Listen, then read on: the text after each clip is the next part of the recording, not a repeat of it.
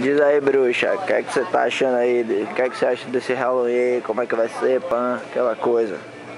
Diz aí pra nós.